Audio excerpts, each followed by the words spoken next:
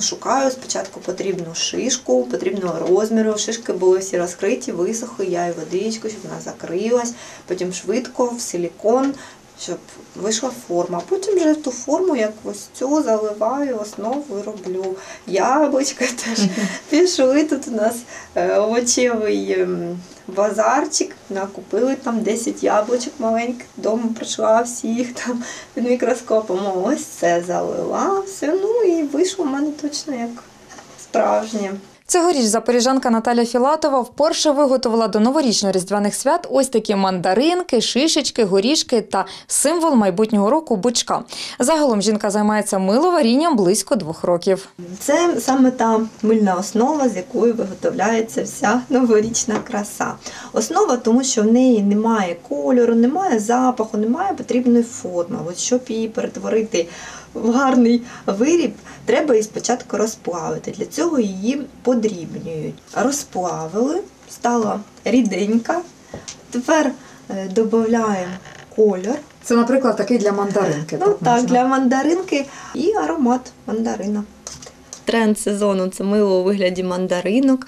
Ну, звичайно, бички. Бички це прям number one, як то кажуть. Роблю також різні новорічні композиції, щось е, схоже на букети, але все ж це композиції. Такий в мене основний принцип. Я роблю те, що мені подобається. Завжди перевіряю. От я беру в руки, думаю, мені б таке сподобалось, я б хотіла, я б поставила в своєму домі. І так, якщо сподобалось, то значить, значить те, що треба. Якщо ні, значить переробляю до тих пір, поки не буде подобатись. Наталія розповідає, виготовлення виробу з мила триває від декількох годин до тижнів. Коли починаєш щось робити нове, це завжди займає багато часу. От першу, наприклад, новорічну композицію я могла до тижня складати. Жінка веде свою сторінку в соціальній мережі Інстаграм, завдяки якій також орієнтується на бажання споживачів. Каже, мило робить перш за все для того, аби ним милися, а не як елемент декору.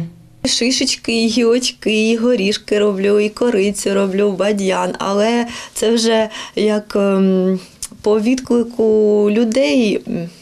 Відчуваю, що треба мандаринки. Тому Я запропонувала різні варіанти, а всі хочуть мандарини. Ну, Олів'є робити складніше, так. Можна порівняти з звичайним олів'є, але в звичайному олів'є нам е, полегше можна купити горошок. Ну, всі інгредієнти, в принципі, можна купити. А для мильного олів'є потрібно виготовити спочатку горошок, огірочки. Справжнє мило це якісне мило, це е, мило безпечне і для діток, і для дорослих. Воно в мене цілий рік стоїть, шкода його чіпати, тільки милуюсь. Ну, вона це не дуже тішить. Мені подобається, ой, мені може все твоє мило змилили, давай нам щось новеньке. Ну так це ж мило, це ж не сувенір, не, не просто декор для дому.